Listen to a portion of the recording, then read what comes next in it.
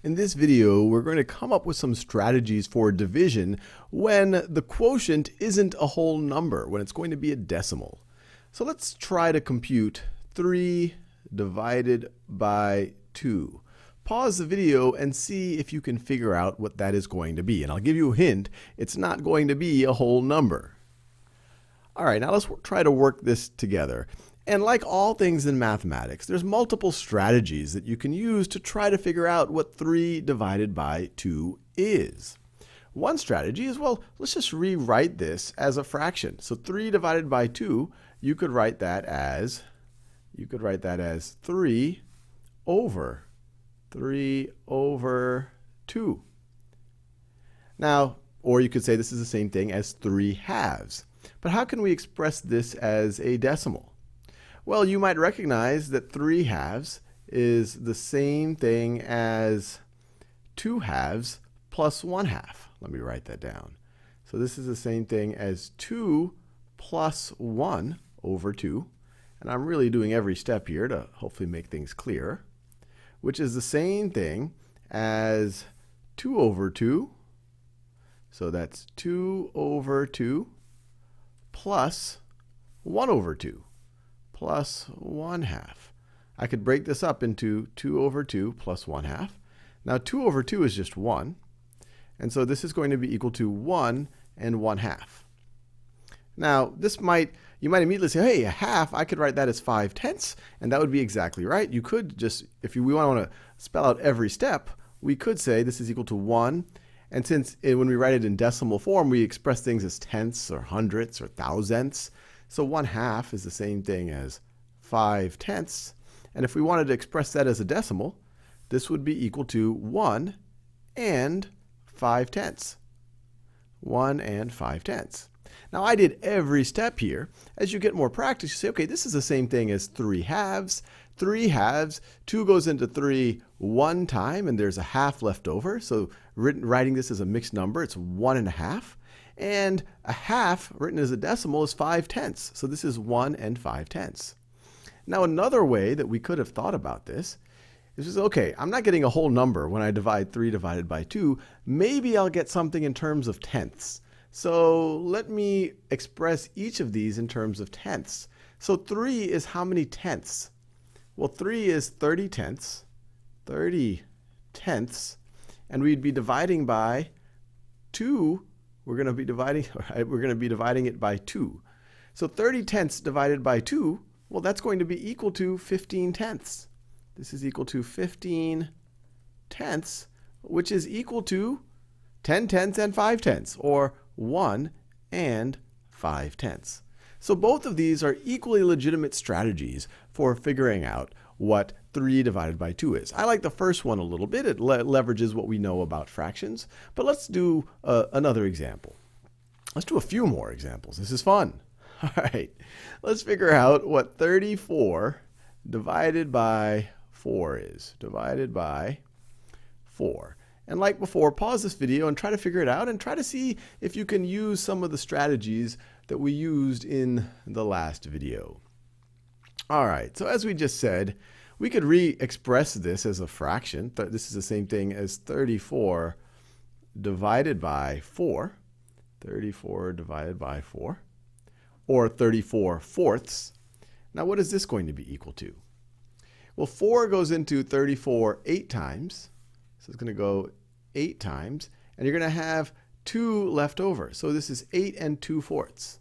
8 Actually, let me write it. Well, all right, 8 and 2 fourths. Let me do that 2 in that blue just for fun. 8 and 8 and 2 over 4. 8 and 2 fourths. So how do I do this again? I said 4 goes into 34 8 times, and then I have 2 left over, so I'm going to have 2 fourths left over. Another way, if you want to see all the steps, you could say, hey, I could rewrite this as 32 over 4 plus 2 over 4.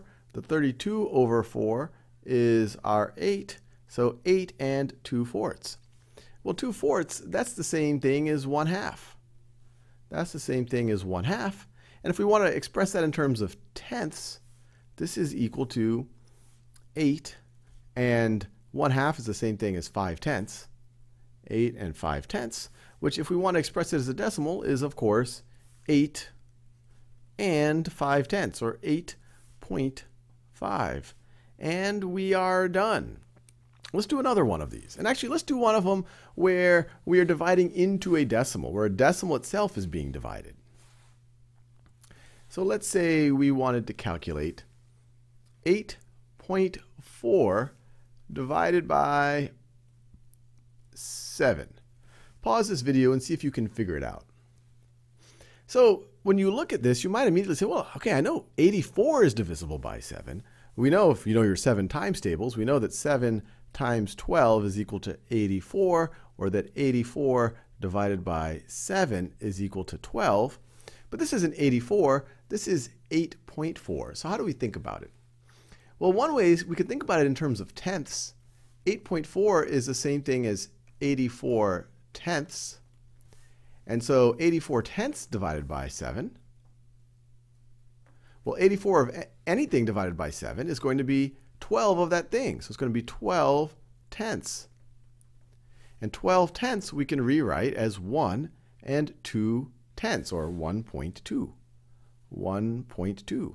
And we are done. So this is equal to 1.2.